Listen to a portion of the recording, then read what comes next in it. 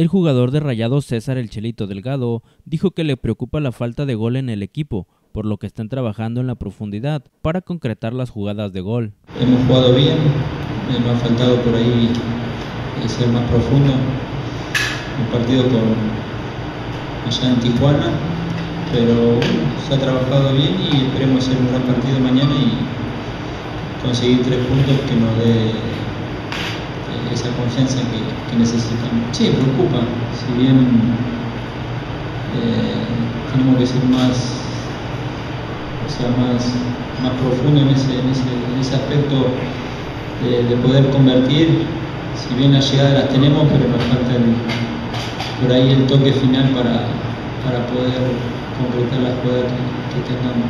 No, porque te digo, se juega bien el fútbol, se tiene la pelota, eh, intentamos siempre jugar y para adelante. Simplemente, te digo, como dije recién, falta el último toque para poder concretar o terminar bien la jugada o que sin duda que termine la jugada en gol. Así que creo que en ese aspecto estamos, estamos fallando.